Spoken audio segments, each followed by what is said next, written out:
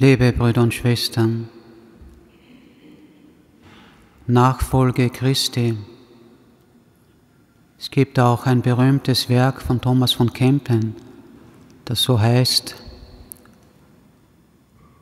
Nachfolge Christi, was bedeutet das für uns?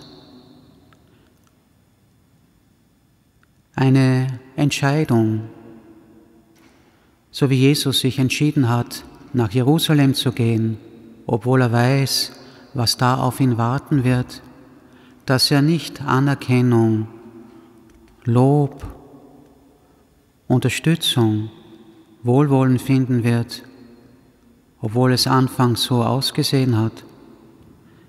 Er weiß, dass das Kreuz auf ihn wartet. Und Jesus sagt, wer mein Jünger sein will, nehme sein Kreuz auf sich. Das haben wir den letzten Sonntagen auch gehört. Ja, Nachfolge Christi ist immer mit Kreuz verbunden, aber nicht nur mit Kreuz, sondern auch mit Freude, mit Gnade, mit neuem Leben. Aber dennoch, wir dürfen dem Kreuz nicht ausweichen, denn durch das Kreuz hat Christus, der Sohn Gottes, uns erlöst, nicht als triumphierender Herrscher dieser Welt, sondern durch die Hingabe seines Lebens durch das Vergießen seines eigenen unschuldigen Blutes hat er uns reingewaschen von aller Schuld, hatte die Menschen freigekauft aus der Macht der Sünde und des Todes.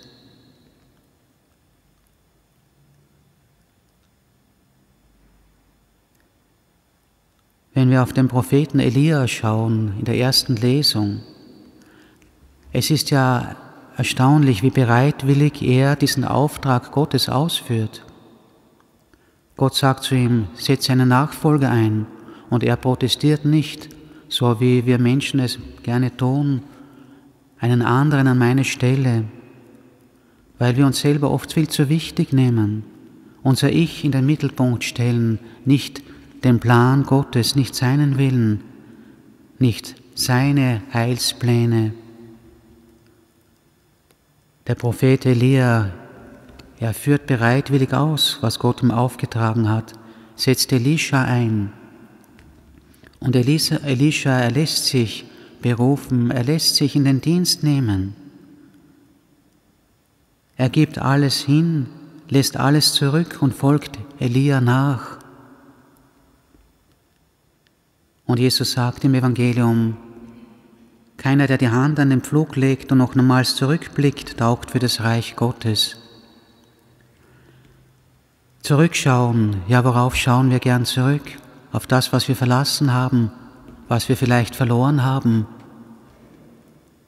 Aber ich denke, wichtig ist, dass wir auf Jesus schauen und dass wir erkennen, was Gott uns schenkt in der Nachfolge Jesu dass wir ja viel reicher beschenkt werden, viel mehr bekommen, als, was, als das, was wir da zurücklassen und hingeben.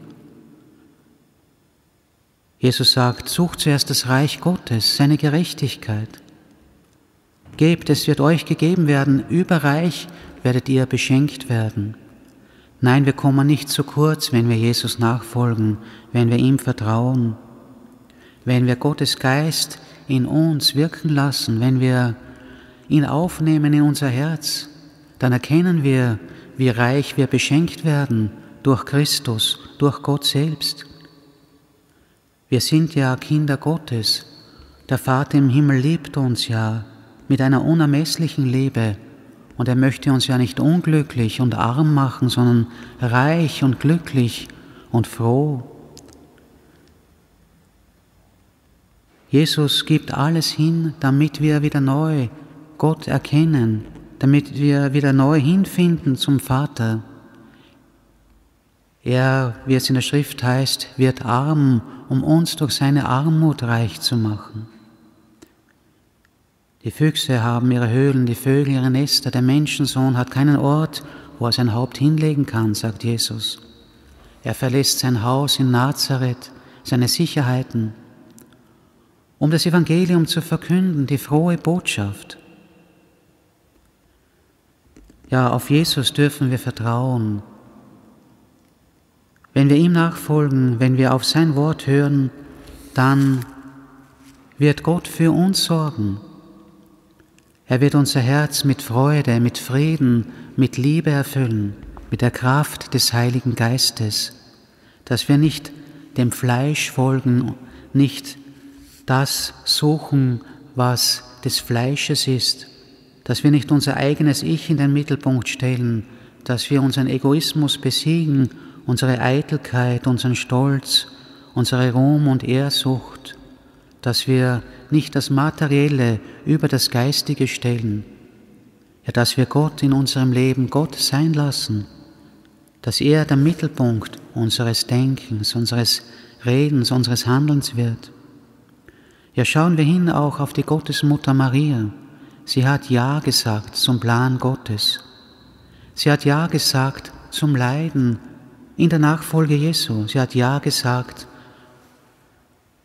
zum Kreuz, aber nicht nur zum Kreuz, sondern auch ein gläubiges Ja, Ja zu dieser Überwindung des Todes. Sie hat geglaubt, dass Jesus nicht im Tod bleibt, sondern dass er auferstehen wird, weil er die Auferstehung und das Leben ist. Ja, bitten wir Maria, sie möge uns helfen, dass unser Glaube stark wird, dass unser Glaube fest wird, dass unsere Liebe wächst, damit wir fest und unerschütterlich auf Jesus vertrauen, damit wir nicht mit Gewalt die eigenen Pläne durchsetzen wollen, sondern damit wir auf die Heilspläne Gottes vertrauen. Diese Heilspläne, sie verwirklichen sich. Ja, Gottes Liebe, sie ist immer stärker als alle Lieblosigkeit. Gottes Wort, das Wahrheit ist, ist immer machtvoller als alle Lüge, als alle Irrtum. Ja, möge Jesus uns Gnade schenken, uns ermutigen, dass wir uns für ihn entscheiden, dass wir nicht rückwärts schauen, sondern hinschauen auf sein Kreuz, ja hinschauen auf seine Verherrlichung, auf das Ziel unseres Lebens, auf den Himmel, auf das ewige Leben, das auf uns wartet. Ja, bitten wir den Heiligen Geist, der möge uns stärken, uns erleuchten und führen, damit wir unsere Berufung erkennen, damit wir sie als Christen in unserem Leben verwirklichen, damit wir diese Gaben Gottes, die Gott uns geschenkt hat, annehmen und zur Entfaltung bringen, zur Ehre Gottes und zum Heil unserer Mitmenschen. Amen.